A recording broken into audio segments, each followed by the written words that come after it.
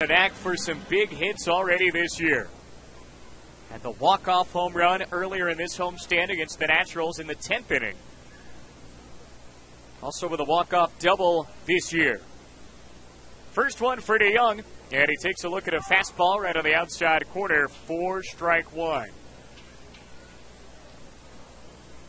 Paul is batting 231 on the campaign with six home runs and 21 runs batted in.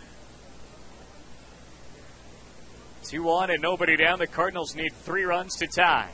Deal one. Swing and a miss by DeJong. And the 22 year old is down in the count at nothing and two.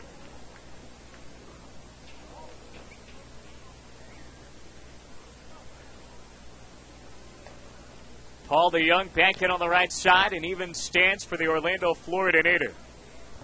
Final half swing as he brings the two toed bat up to the shoulder. Chase De Jong set on the mound. And the 0 2. A fastball called strike three right on the outside edge. Chase De Jong wins the battle, and it is the first out here in the bottom of the seventh.